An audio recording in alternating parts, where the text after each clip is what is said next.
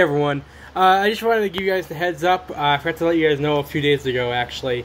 Uh, what's his name? Uh, Richard Newman uh, did turn down the interview. Sadly, um, I was it was a little sad, but then it was okay. Uh, I'm not gonna really give like a whole story of why you know he he's what what he said, but um, I'm just gonna give you like basically he just doesn't remember as much as he used to uh, when he done Transformers Cybertron and Transformers Beast Wars.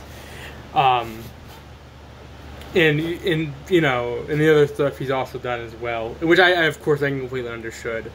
Um, so I am I will am as of right now. There's really no one to interview at the moment, which kind of sucks because I was really hoping to interview him, but like I said, I understood completely.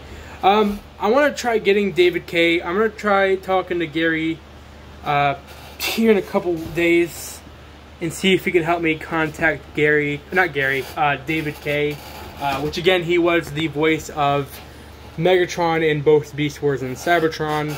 Um, so uh, I'm definitely gonna talk to him, uh, and of course, just like I did. Um, uh, with uh, Gary, I'm gonna see if he can actually do a Frank Welker impression. Because that's you know that's the thing though you know, uh, you know when I was ta- interviewing Gary, you know uh, when they originally put him in, you know they wanted Optim- they wanted Peter Cullen, you know, uh, they they wanted Optimus Prime in Cybertron to be similar to um, Peter Cullen and I I don't know that whole story yet. I, I really do need to find a way to contact Peter Cullen himself and Frank Welker because those are actually two guys I want to interview as well. I uh, emailed his agent a while back, Frank Welker's, but I got nothing. I, I that was months ago, and I got nothing back. So I don't think that's going to happen.